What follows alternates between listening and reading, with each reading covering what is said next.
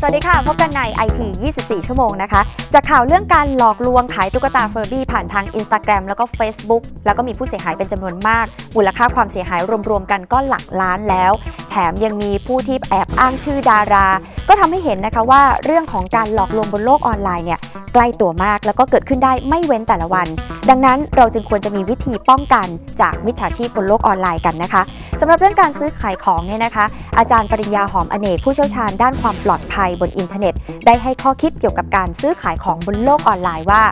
ก่อนจะตัดสินใจควรพิสูจน์ทราบคนในอินเทอร์เน็ตกันซะก่อนนะคะว่า ใช่คนคนนั้นจริงหรือเปล่า มีการเอามาแอบอ้างหรือไม่ ทั้งผู้ซื้อและผู้ขายเลยค่ะ และของที่ถูกจนเกินเหตุเนี่ยขอให้ชั่งใจกันไว้สักนิดว่าจริงหรือเปล่า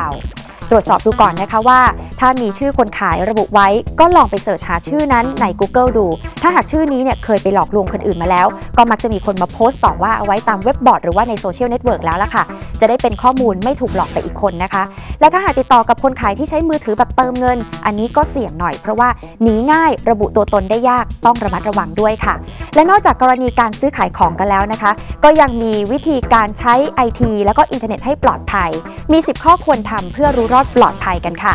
ข้อแรกให้ตั้งรหัสผ่านไม่น้อยกว่า 8 ตัวอักษรที่เดายาก และก็หมั่นเปลี่ยนรหัสผ่านใหม่เป็นประจำด้วยนะคะ และต้องไม่ใช้รหัสผ่านอีเมลเดียวกันกับบัญชีโซเชียลมีเดียอื่นๆ ระมัดระวังในการคลิกลิงก์ต่างๆ แม้จะส่งมาจากเพื่อนก็ตามค่ะ ควรจะดาวน์โหลดโปรแกรมจากผู้พัฒนาโดยตรงเท่านั้น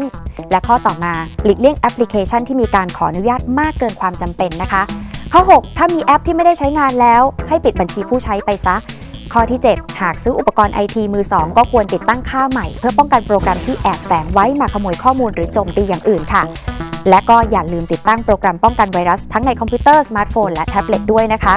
ที่สำคัญอย่าลืมติดตามข่าวสารความเคลื่อนไหวของไวรัส และภัยอินเทอร์เน็ตนะคะ แล้วก็ศึกษาเทคนิคการหลอกลวงของมิจฉาชีพ เพราะก็มักจะมาแนวใหม่ ๆ ได้เสมอตามกระแส จะได้รู้ทันไม่โดนหลอกนะคะ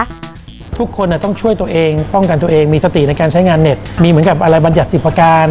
ดูแอนดนอะไรแบบเนี้ยเพื่อที่จะป้องกันตัวเองไม่ให้เนี่ยโดนคือไม่ได้บอกว่าเฮ้ยเดี๋ยวมีอะไรถ้าโดนเดี๋ยวเราก็ไปหาตำรวจ เพราะอัตรากำลังมันน้อย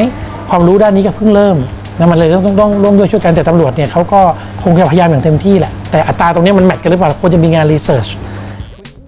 นี่แหละค่ะ ไม่มีอะไรดีไปกว่าการป้องกันและระมัดระวังด้วยตนเอง จะได้ไม่เดือดร้อนจากการใช้อุปกรณ์ไอทีและอินเทอร์เน็ตนะคะ สวัสดีค่ะ